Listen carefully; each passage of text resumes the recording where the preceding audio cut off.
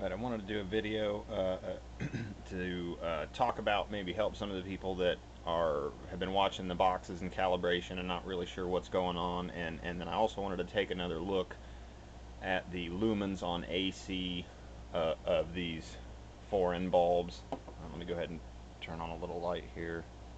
I've got one of these foreign bulbs sitting there. Alright, there we go. So that's one of them on AC. Um, and I basically uh, there's some some some things that kind of drew attention to, to, possibly not being 80 lumens um, on AC. So I want I'll, I'll, talk about those more. So initially I want to just try to help maybe people that, that aren't sure how to calibrate or what what's going on or what the calibration means. Try to explain that uh, um, a little bit. And basically when you start off with your, you know, aluminum foil lined box, you've got your sensor mounted in there and everything. You want to make sure you get, you know, this is Professor Physics physics prof uh, box and and uh, method of calibration, and it can be very accurate. Okay, so um, you want to get bulbs of known wattage and known lumens to start. Like there's a 13 watt, 825 lumens. Uh, we have 13 watt, 900 lumens. 60 watt uh, incandescent and 100 watt incandescents um, and there's some daylights over there. Um, and basically those were what physics prof used you know the the couple different compacts couple different incandescents.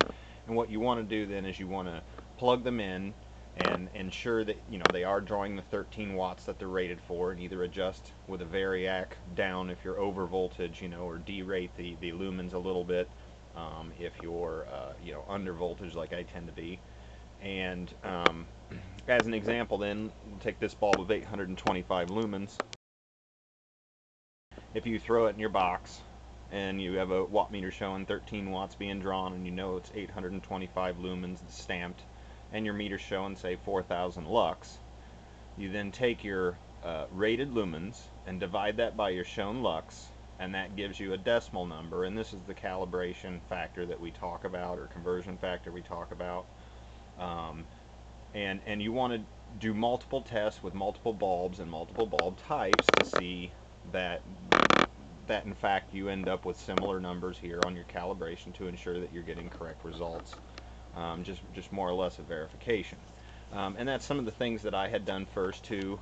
Um, again you know here's the 60 watts um, and then 100 watts and then compacts. The two different kinds of compacts there. And and you know you, you'll find that with most of these the the conversion ratios ended up being you know very close um, to the same both with the compacts uh, and the incandescents warm whites. And um, I even found with my box like here you know uh, you know 0.2 and with two bulbs it's 0.203 um, the compacts here were at you know right around 0.2 with one bulb, 0.2 with four bulbs, 0.206 with five bulbs, so 0.206 here with four bulbs of a different brand. So I found very little variation even with bulb numbers. Um, and, and, I believe my assumption there was is that the, the, the, box is large enough in the way that I inset the sensor that the, the point where the sensor is picking up light is to be even. And if it's even and I'm not losing light or blocking light then my conversion factor calibration should work out to be the same or relatively regardless of the number of bulbs you know and, and in most cases it does. So I found like I said all these bulbs ended up being pretty close so I could develop my 0.201 calibration now anybody that remembers my old channel uh, you know I use the Utilitech 7.5 watt warm daylights so that was the, the next bulb that I said, okay, the system's calibrated, here we go. Well, I found that uh, if you look here, 850 lumens is showing around 4,000 lux, and I plug in a 490 lumen bulb, and it's showing not too far off from 4,000 lux. Well, we know it's not 700 lumens, and it was, it was, you know, it's drawing the exact power.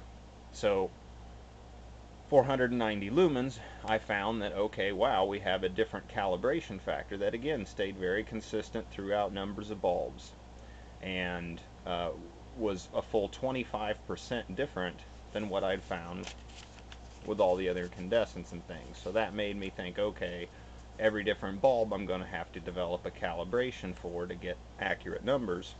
And I also wondered then what make what makes this number so much different.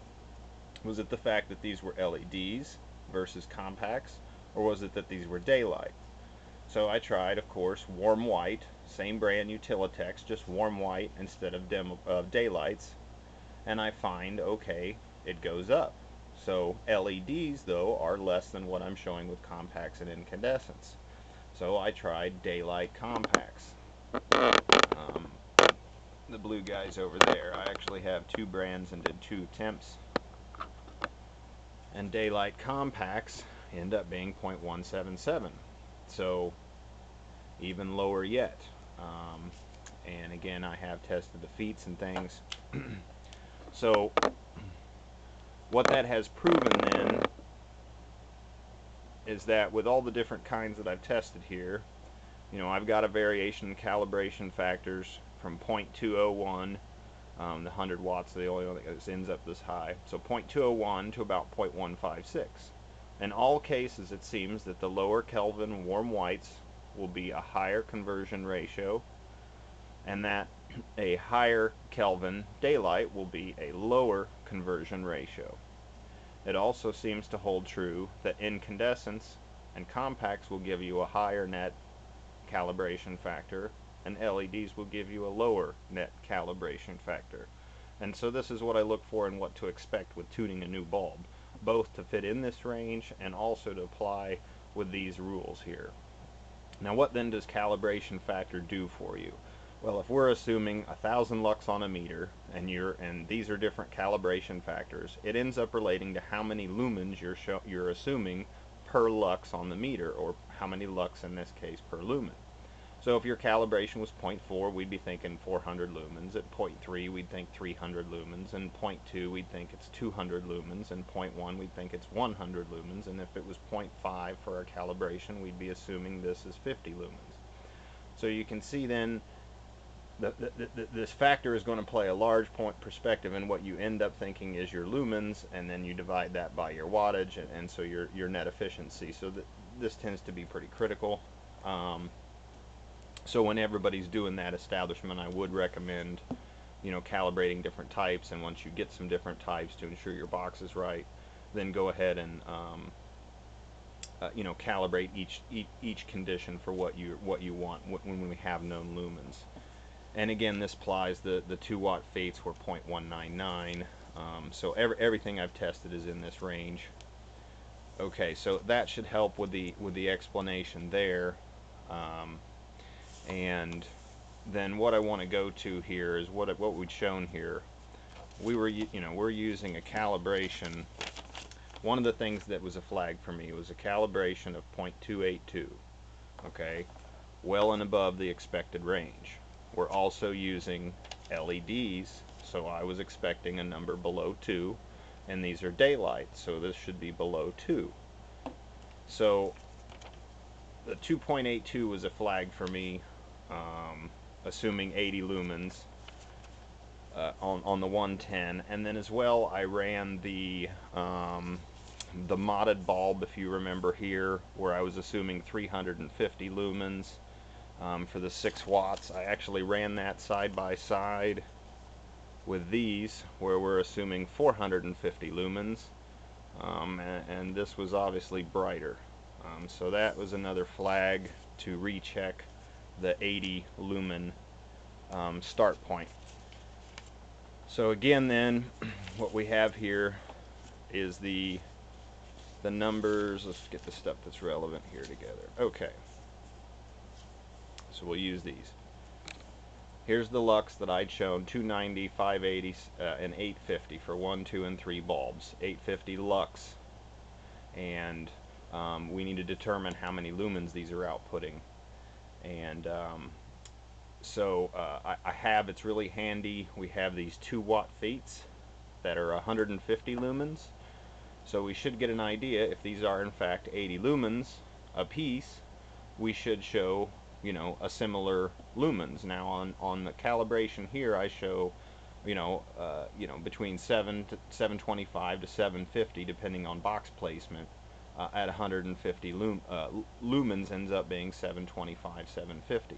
And again, the calibration on this is 0.199, and we should be a little lower. Okay, so my lumens or my lux on my meter should be above this for 150 lumens okay? But the only thing I can base off of is what I got here so we'll go from this.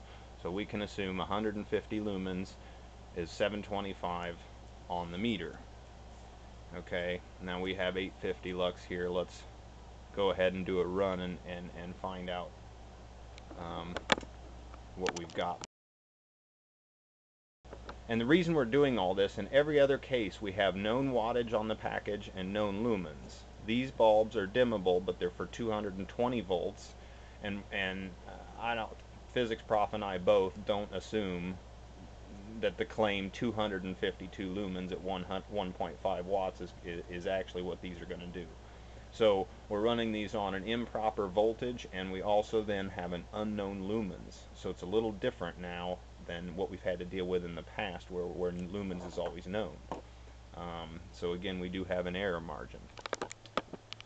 However, let's see what we can come up with. So flip on the meter 1x, light box hooked up. I have three sockets in the three locations. And what we'll do, I'll go ahead and unplug this light and put us in the dark here a little bit.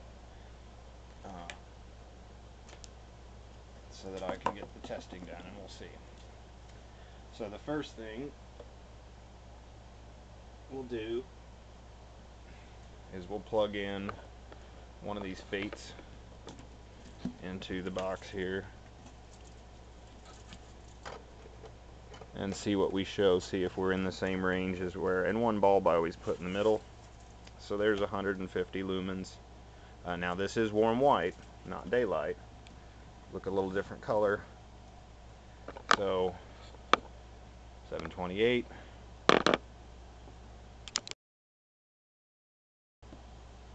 Seven twenty-five. Okay, 150 lumens. Um, and that'll vary a little bit.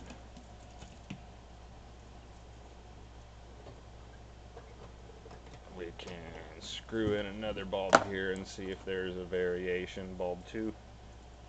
Just going to switch bulbs and see if there's a variation in bulbs.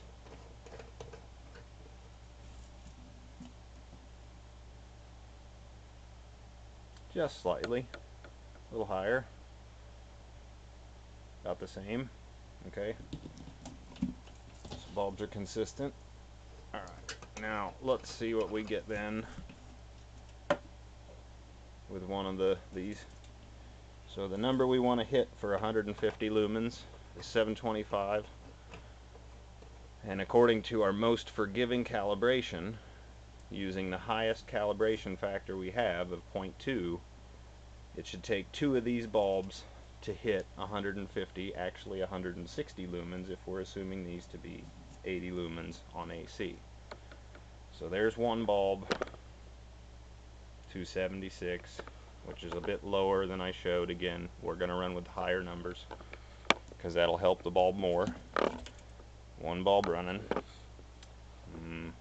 okay so we're not at 150 lumens yet. Two should do it. If they're 80 lumens a piece this should be at least 725 and it should be over it because of the daylight Oh, nope. 528. So two bulbs is not 150 lumens yet. Okay.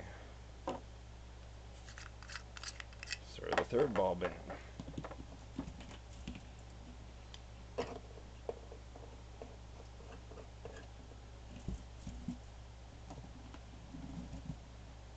gosh, I'm running out of time. Okay, and there's our 8 850. So we're slightly above the um, we're slightly above the 725, so we are producing more than 150 lumens and I'll have to continue this in a minute.